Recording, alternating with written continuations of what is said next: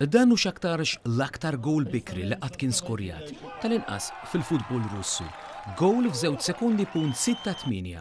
Il-logħba hija mill-kampjonat reġjunali tat-tieni diviżjoni fix-xlokk tal-pajjiż.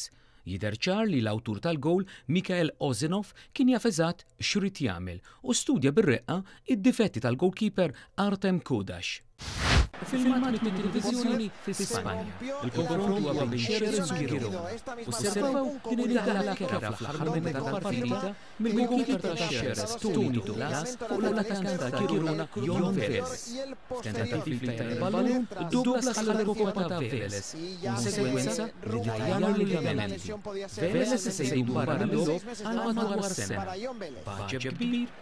Għar-referee kollox kien normali, ebda foul, ebda penalty u naturalment lanqas ammonizzjoni.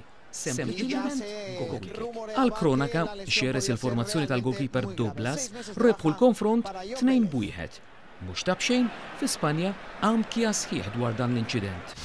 Fl-aħħar sigħat, Wasal ukoll dan il-filmat mil-logħba ta' ħbiberija bejn l-Awstralja u l-Malasja. Araw x'tackle għamel Ruben tal-Malasja fuq dan ir-referee Korean. Anzi, ma dabbarx karta ħamra, ftit ħin qabel kien għamel tackle simili fuq sieħbu u player Awstraljan. Ibża' minnu dan? Araw daqsxejn x'jaf jagħmel bil-ballun il-manager ta' Arsenal, Arsene Wenger. Klassi samba bi stil Franċiż mill-Professur. Qed tiftakruh dan l-inċident bejn Jose Mourinho u l-assistent coach ta' Barcelona Tito Villanova? Lejn tmiem is-Super Cup Spanjola bejn Barcelona u Real Madrid, Mourinho kien ipprova jdaħħal sebgħu f'għajnejn Villanova. Għal dan l-episodju, Mourinho din il-ġimgħa weħel sospensjoni ta' żewġ logħbiet fil-Copa del Re u multa ta' 600 ewro. Issa, madankollu, dawk kollha li huma anti Josè Mourinho għandhom fiex jedew, logħba ġdida fuq l-iPhone. Fiha wieħed jista' jilgħab kontra l-Special One billi jipprova jdaħħal sebgħu f'għajnejh. Trid toqgħod attent, eh, ma jmurx jaqbdek ir-raba' uffiċjal! U nagħlqu b'filmat ħelu li bilforsi nissel tbissima. Logħba mit-Tielet Diviżjoni fil-Portugall. Plejer iweġġa'? u jinħareġ stretcher għalih. Wieħed, tnejn, erfa'. Zo zo zom ċens! Qbad ħażin! Ommi dan kemm hu tqil, da kif se nġorruh? Araw x'paramediċi għandhom il-Portugall.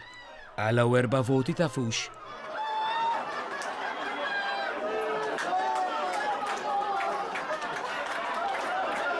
Povru player. Naħseb seħet issiew il-mument li talab għall-istretcher. Il-plejer b'xi mod inġarr sat-touchline iżda hekk kif niżżluh, wieħed mill-paramediċi waqa' fuqu bil-fixla. Ajma! Dawn xi jkunu? Mhux magħruf jekk wara dan l-inċident baqgħux jagħmlu l-istess xogħol.